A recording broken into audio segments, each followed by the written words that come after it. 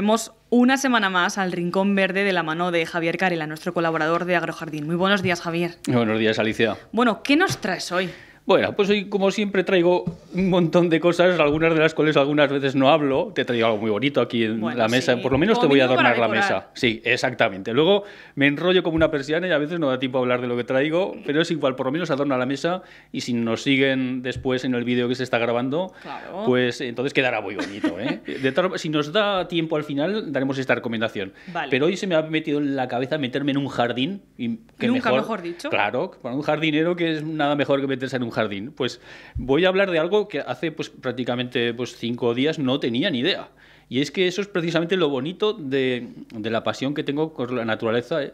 A mí, pues como sabes y como saben nuestros oyentes, pues me encanta la naturaleza sobre todo. Sí, te gusta. Algunos de ellos saben que mi gran pasión es la botánica, son las plantas. Pero yo ya hace tiempo que me he dado cuenta que en realidad lo que me gustan no son las plantas.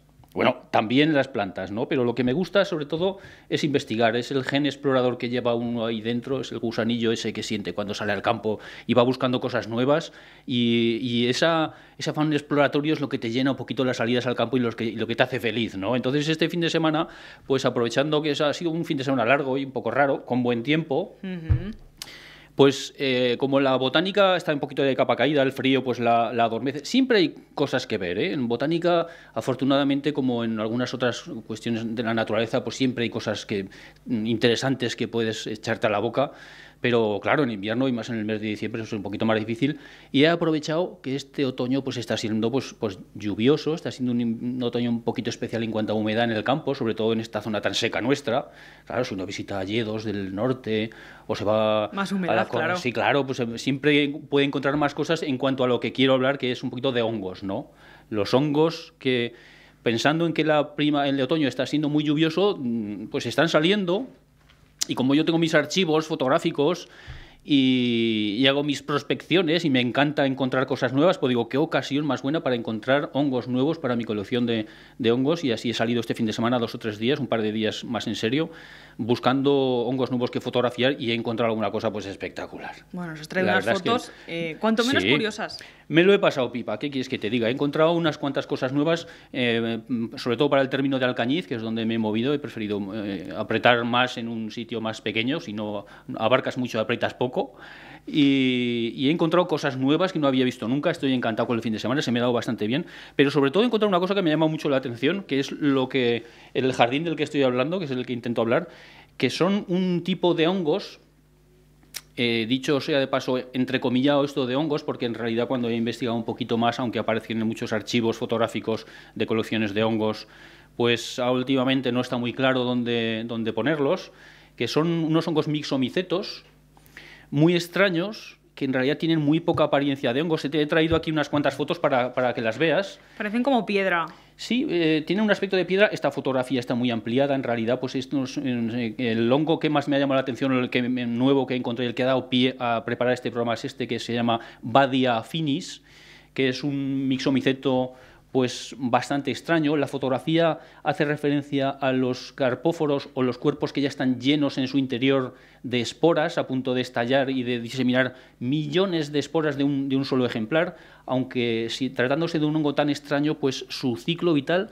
es eh, cuando menos curioso. A mí por lo menos me ha enganchado el estudio de esta Badia finis, de este mixomiceto, durante este fin de semana, porque aprovechando además que el día es tan corto a las seis y ya parece que tienes que retirarte un poquito, pues ya te da tiempo a mirar cosas, a viajar en Internet, a investigar, y hoy nos lo pone esto de Internet tan fácil como que accedes a un montón de información con realmente poco esfuerzo. ¿no? La Badia finis. Pues es un misomiceto que tiene varias fases a partir de una espora que se desarrolla eh, en una pelotita de color. Mm, esta que tenemos aquí, la badia finis, hay muchísimas, ¿no? Hay muchísimas badias, hay Parecen como piedrecillas negras. pero antes es como una masa gelatinosa de color amarillo. Pasa he traído fases, claro. otro, otro ejemplo, y es una fase que se llama de plasmodio, que es una cosa un poquito difícil de definir, porque en realidad es como una masa gelatinosa. Luego te hablaré, este concretamente, esta foto que te, estamos enseñando aquí no es exactamente la de Badia finis, pero se le parece mucho. Es de, otro hongo también muy interesante, que es un Pisarum polycephalum. Y son una masa de muchísimas, eh, muchísimos núcleos pero que no tienen paredes celulares, entonces el citoplasma, que si alguno recuerda un poquito lo que estudió la EGB, es, lo que está dentro de la membrana celular, pues esta, estas, eh, estos organismos que son últimamente adscritos al reino de los protistas no tienen paredes celulares, entonces son una masa mm, bastante voluminosa, puede ser una masa que tapiza una zona considerable, pero no tiene paredes celulares, entonces no está claro que no sea solamente una, una sola célula. Como bastante así homogénea, ¿no? Claro, es una sola célula con muchos núcleos polinucleada. ¿Qué pasa? Esto tiene una grandísima ventaja. Aunque solo sea una célula, simplemente si desaparece una parte de la misma, pues tiene otros núcleos en, la zona que pueden hacer crecer al organismo, ¿no? Y sobre todo también es, tiene una característica que es muy poco Mm, conocida y muy poco asimilada a lo que tenemos entendido por órganos inferiores o por hongos, y es que se mueve. ¿Cómo se va a mover? Se mueve, señores, como la, como la Tierra, sin embargo se mueve.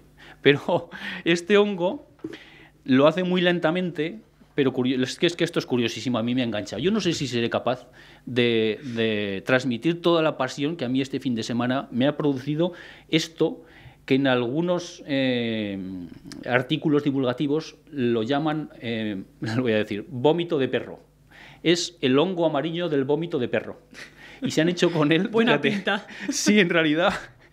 Con eso nuestros oyentes pueden hacerse la idea de cuál es la apariencia en realidad en el campo de esto, en zonas de hojarasca un poco húmedas, y cuando lo ves dices, uy, esto es una masa así como amarillenta, un poco rara. Y encima se mueve, ya lo tiene y todo. Encima, y encima se mueve, señores. Pues este es el hongo amarillo del vómito de perro por su apariencia, que tiene su estética.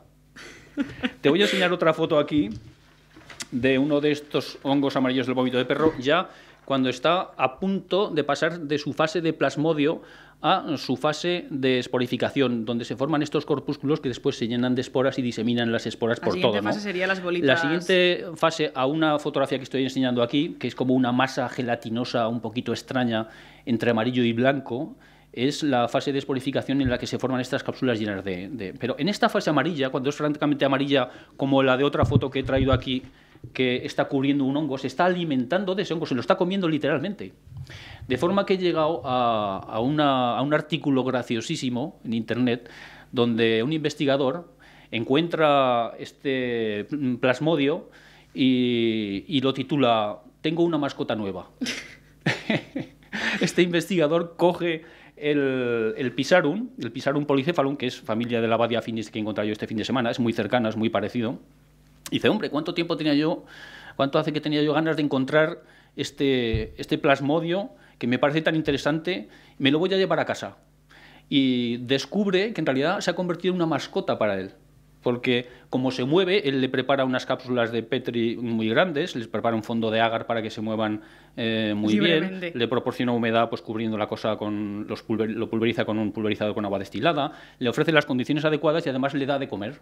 Bueno, pues... Y le pone un, hongo en una de las esquinitas de la placa grande de Petri que hace el plasmodio. Irá por él. Irá por él, tranquilamente, con su, con su paso despacito, pom, pom, pom, se, se va a parar al hongo y se lo come. Bueno, pues como una mascota, ya lo cuando, Cuando ya está medio a digerir, pues él ya le pone otro honguito en la otra esquina y el plasmodio, pues poquito a poco se va hacia Y él también se, divierte, ¿no? Viendo cómo se mueve. ¿Eso qué es? Eso es una mascota. Pues sí. Entonces, hay gente para todo, hay gente que tiene perros, otros gatos. Pues estos investigadores tienen plasmodios en casa. Además, plasmodios asemejados a qué? A vómitos de perro. Bueno, un completo. Es un completo y es muy gracioso. A mí me parece un artículo fabuloso. Pero mm, más allá de estas bromas, eh, estos plasmodios han dado pie a investigaciones interesantísimas. Ten en cuenta que estamos hablando de organismos que llevan en la Tierra la friolera de 500 millones de años. Hay que decirlo esto lentamente. 500, millones, de años, eso es, vamos, se te escapa, es una barbaridad de tiempo. Esto a mí sí me recuerda cuando empezábamos a hablar en euros, hablabas de millones de euros y todavía no tenías en la cabeza que era aquello. Pues los 500 millones de años es, son muy difíciles de que nos entren en la cabeza, pero voy a poner ejemplos. Los dinosaurios aparecieron sobre la Tierra hace 250 millones de años. La tercera parte que hace que aparecieron los plasmodios y los, los mixomicetos del estilo de la Badia finis. Eh, y desaparecieron desde luego hace 200 millones de años. El hombre apenas mm, se puede llamar hombre desde hace pues unos dos millones de años. El género Homo yo creo que apareció hace dos millones de años y los primates hace dos millones y medio de años o cinco millones de años. Tú fíjate en qué comparativa si los primates aparecieron hace 5 millones de años y los, plasmodios aparecieron hace 700, hace 500 millones de años, si han tenido tiempo de pasar cosas en este planeta. Esa, esa reflexión es muy interesante porque ¿a qué nos lleva? A que en efectivamente estos organismos están muy bien adaptados a la Tierra están adaptados bien, no lo siguiente. Y encima ahora les damos de comer. Pues claro, claro. Ten en cuenta que eso es una cura de humildad para los humanos que nos creemos el centro del universo, que somos como muy importantes, tenemos un cerebro muy, muy evolucionado, pero mm, cuidadín, que los que llevan 500 millones de años en el planeta son los plasmodios.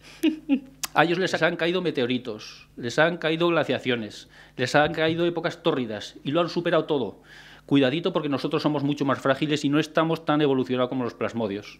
En cualquiera de estas se nos cae un meteorito o hay una sequía o lo rompemos nosotros y el planeta se nos viene abajo. ¿Pero los plasmodios? Los plasmodios seguirán ahí. No te preocupes que los vómitos de perro, aunque hayan desaparecido los perros o incluso los hombres, permanecerán en el planeta. Y esto es una cura de humildad hacia, hacia cómo tenemos que comportarnos con respecto a todo el entorno que nos, que nos rodea, incluso a esos vómitos de perro que vemos sobre la hojarasca de un bosque bajo Aragones, ¿no?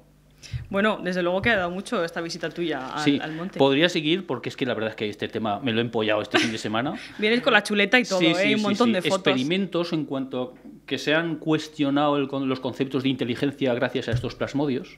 El concepto de cerebro y de inteligencia ahora mismo está cuestionado en cuanto a que estos plasmodios son capaces de aprender, son capaces de recordar. Se han hecho experimentos graciosísimos con eh, eh, laberintos por los que el plasmodio es capaz de reptar y alcanzar una, una placa de Petri con alimento al fondo, experimentos como que cada media hora se les se les em, inocula un fuego y, entonces ellos se vienen abajo y cada media hora se les hace y después ellos recuerdan y se vienen abajo antes de esa media hora y recuerdan el tiempo.